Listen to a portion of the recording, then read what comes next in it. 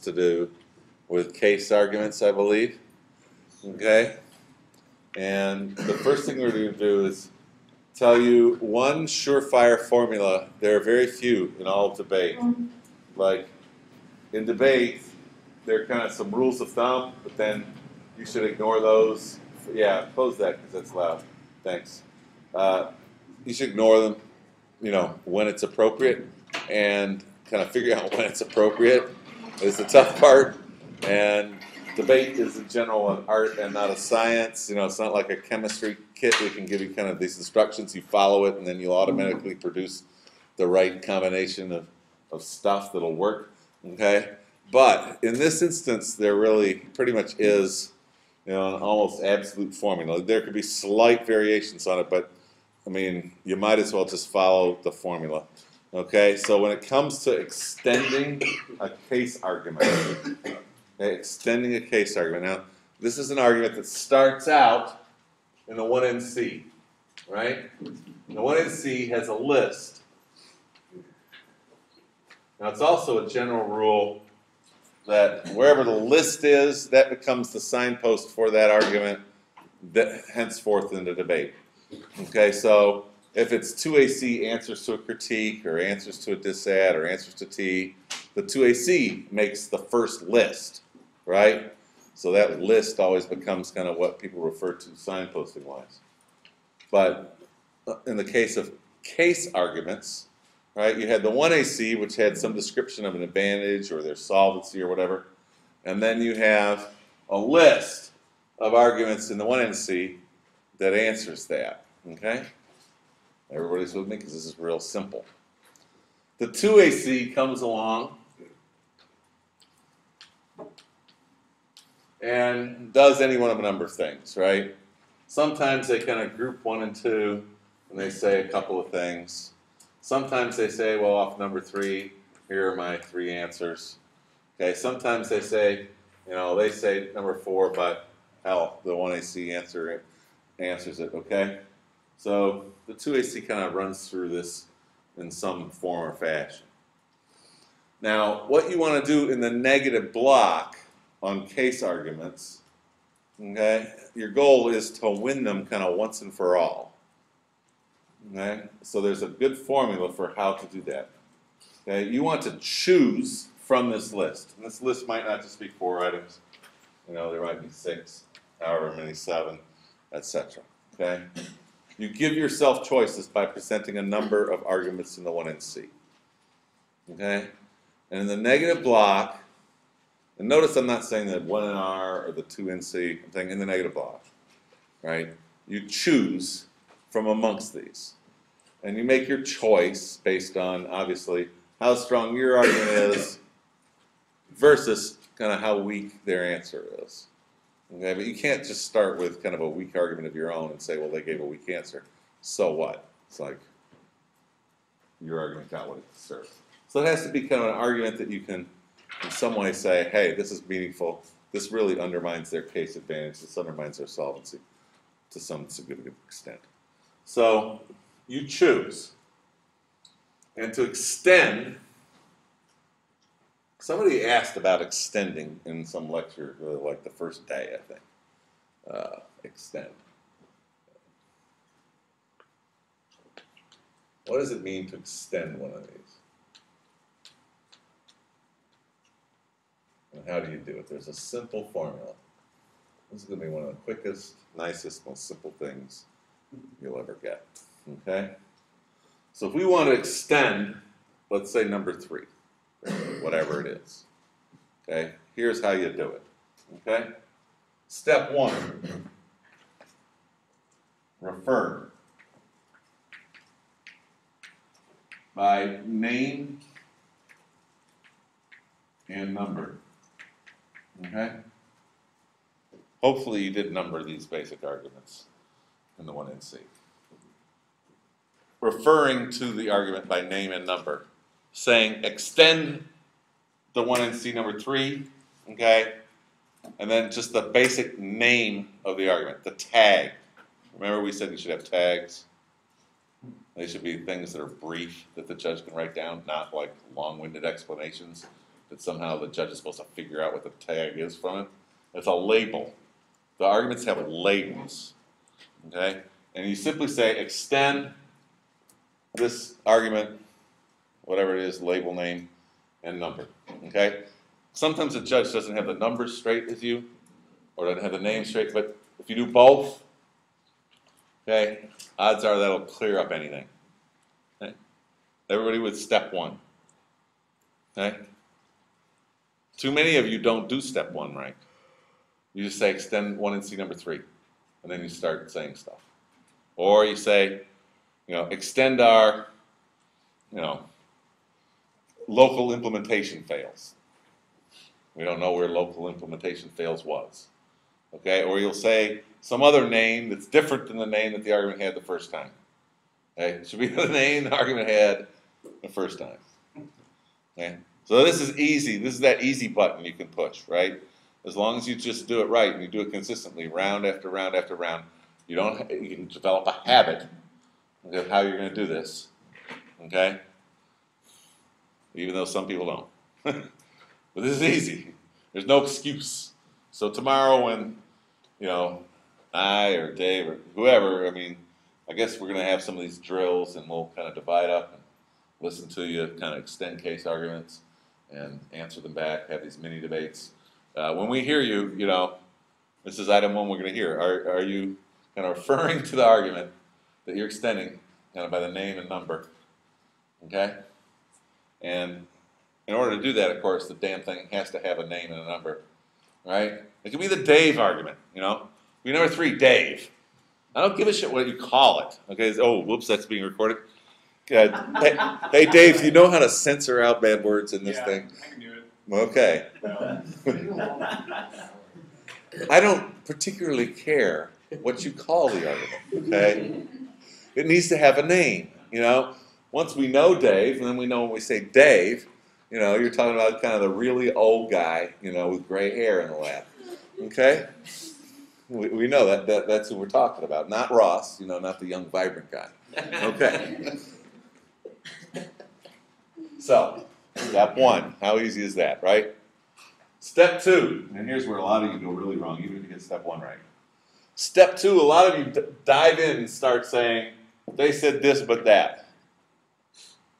Guess what? The coach doesn't really know, or the judge doesn't really know Dave that well. Okay? And so for you to start talking about the answer to what they said is premature. Okay? Step two is to explain your argument. Let's hear something about Dave, or whatever your argument is. Okay? What is your argument's reasoning? What is it saying? Okay? There's only one time on the negative in the whole debate when the negative team gets to explain things, and that's in the negative block. Two doesn't have time to explain stuff.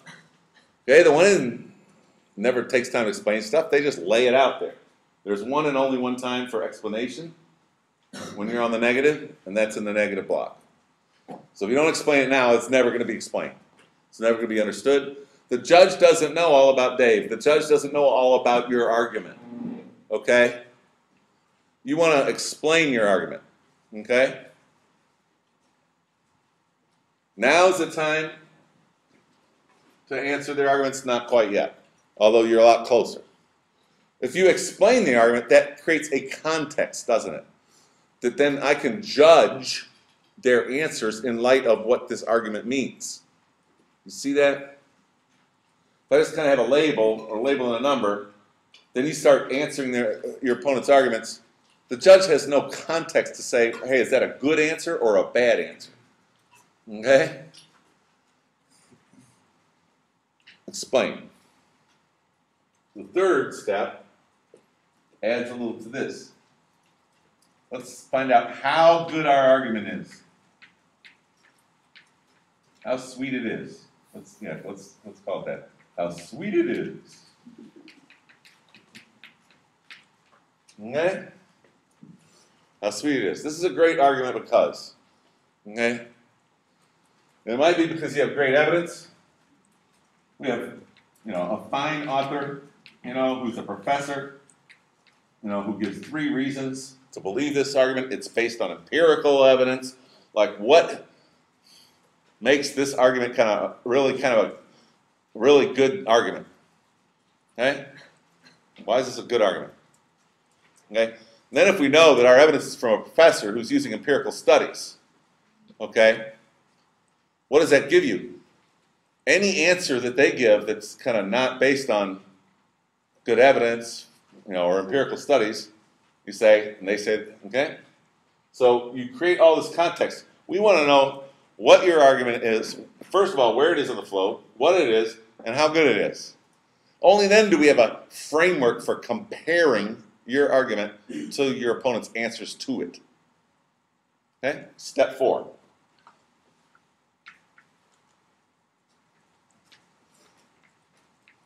Answer line by line. What that means is answer each one of what the 2AC said individually. Okay? And so you can, and the simple formula there. You know, you say, argument's great from this blah blah blah blah blah, and then you know, and they okay say now you got a word you can insert here when they just give one answer. Okay, and that word is just. And they just say, okay, what does that do? That creates an immediate contrast between the quality of your argument okay, and the quality of the answer. Okay? And they just say blah, blah, blah. And practically, by saying they just say, you've answered what they've said. You've already kind of created in the judge's mind that the response was not worthy of the original argument. That the original argument that you made is stronger than the response to it. Okay? Now they may say multiple things. So you, get, you say, and they say first that their 1AC Jones evidence answers this. But they say blah blah blah. But so this is like a formula. You just fill in the words. But you know, the Jones evidence is not qualified. The Jones evidence cites no empirical evidence. The Jones, you know, then you're just making contrast with your evidence. Okay, and the Jones evidence doesn't even speak to this issue. The Jones evidence is about transportation help in general. Our evidence is more specific. It's about what the plan actually does. Okay? Whatever whatever the contrast is. Okay?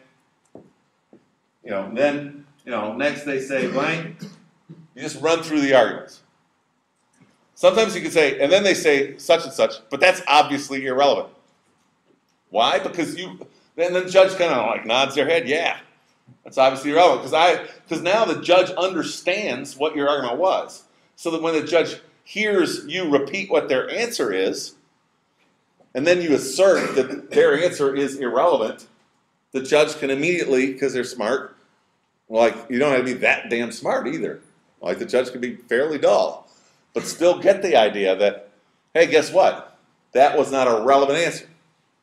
Okay? So you can be really kind of quick going through what they said. Now, if their answer really kind of is on point, then you need to read a card to answer something they said. Nine times out of ten, the 2AC is not really going to have that powerful response. Like the lost art of case debating uh, is a lost art for both sides. uh, but if you kind of get up to speed on the negative, those 2ACs can be, really be punished. 2ACs think they can just breeze through kind of the case arguments. Okay? Now you might be saying yourself right now, I can hear you, oh, but Ross, this is like taking so much time. This is time consuming. To hell with you. First of all, remember, we're not extending every one of our lousy arguments here. We're extending the good ones. Okay, we're choosing, and then we're really making them count. Okay? Secondly, the negative block does have a lot of time. Okay, let's cash it in. Okay, it's time to cash in our chips right there. Okay? Step four is answering line by line. You basically know how to do that. But a lot of it gets to be really easy because you use the explanation and you use how good your evidence was in your answering. If instead you just went straight into the line by line and said, you know, they say that they're wanting to see evidence, but our evidence actually answered this. Because it's like it's a mess. The judge doesn't know what your evidence actually said. You know, they don't know what their evidence said. Establishing this other makes this line by line part really relatively quick. Okay? And then step five is to impact the whole thing. When I say impact it, doesn't mean like the impact is nuclear war. What it means is impact it in terms of how it figures into the decision in the debate.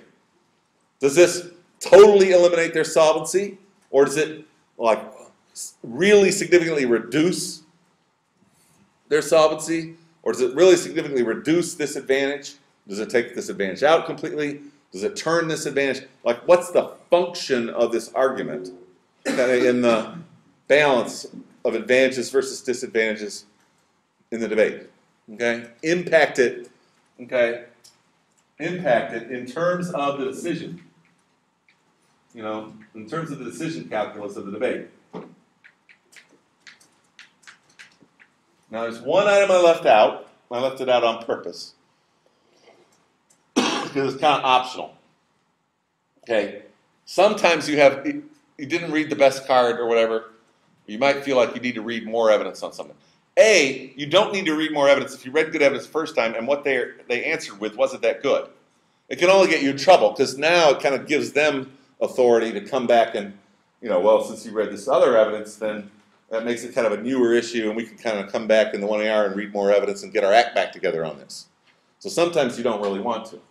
Okay? But other times you might have another card that kind of supplements. You just kind of started the debate out on this, and there is something else that really makes it an even sweeter argument. Okay? How sweet it is, you can often insert that extra evidence right in here. Okay? And it's so good that there's also this other evidence. Okay? Or sometimes you can do it right before the impact stage. Now, if the evidence really is on point to one of the answers that the 2AC made, like I said, then you should do it in the line by line where it belongs. Okay? This is a five step formula, okay, which there should be no departing from. Now, what you can do to prep for your debates, these practice debates you're going to do tomorrow, okay, try to look through if you're on the negative or maybe you're going to be both. I don't know. How does that work? Well, so for when you are negative, extending some of these, okay, try to look through this list of arguments you're going to make and say, what are the strong ones? What are the ones that are kind of, I think are kind of good here, that really the 1AC doesn't answer that well, that I think have, and strong means kind of has some good impact in terms of what it does to the decision calculus of the debate, you know, something that actually will make a real dent in the case advantage. Okay? Look for the strong ones, and in prep, you know, tonight or whenever, you can kind of make sure they have a good tag, you know, that's memorable. You can write up a little explanation of the argument. Okay?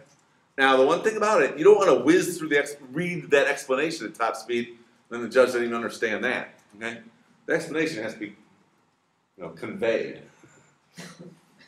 Okay? and write up a little thing about how sweet the argument is, about how good the evidence is, whatever. You know, prep that. Okay?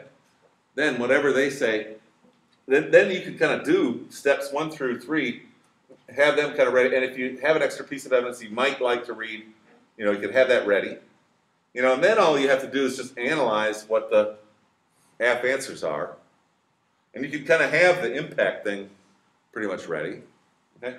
So these are things that you can have prepared.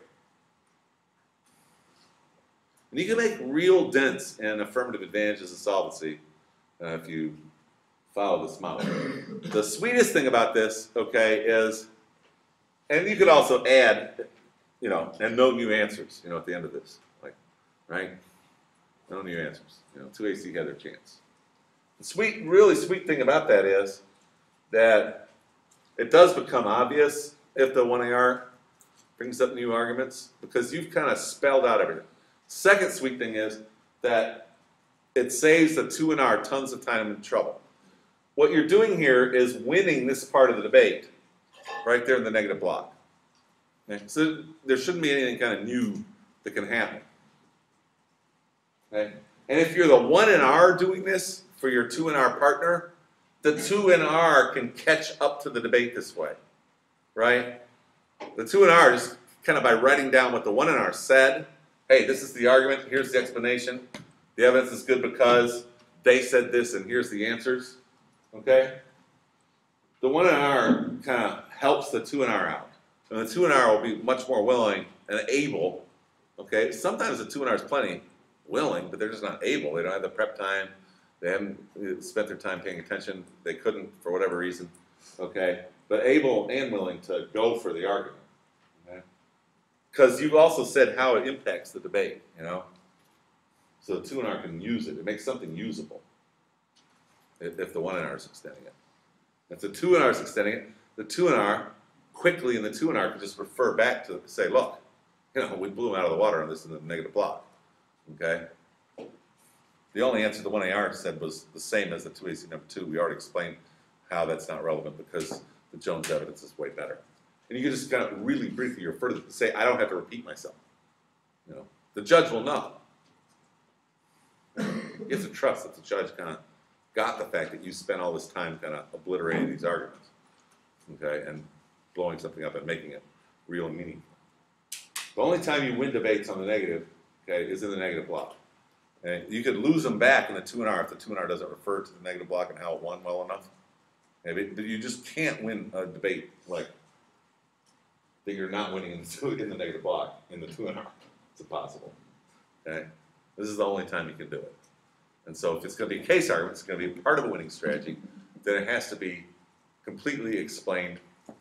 The argument has to be comparative, and it has to be impacted. So we got ex- explanation, uh, develop our argument, compare, that's that, when we answer the thing, and then impact. All right, simple formula. Anybody have questions, think that's wrong or crazy? Say so, because I know sometimes people just say, well, Ross said to do it this way, but somebody else told me to do it this way, and so, you know, it's optional. Where I'm from is often how that starts. What's that? Where I'm from. Where I'm from, yeah. Where I'm from, they don't do it that way, or some judge told me to do something else. Anybody give you other, any other advice some, at some point in time? Right. People don't talk about this much at all, really, so people don't get good, good coaching on this. Uh, sad to say, but, uh, fact of the matter is, not enough good college or high school debaters, successful ones, even do this. Uh, so if you do, you know, it'll make a huge difference in your life. Trust me, in your at least answering the case life, that little part of your life. And if you're a total debate geek, that part of your life's important to you. But all right, all right. Everybody, write down the formula. You know what it is? Okay, good.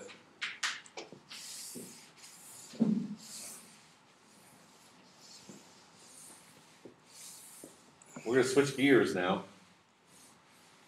It's going dark.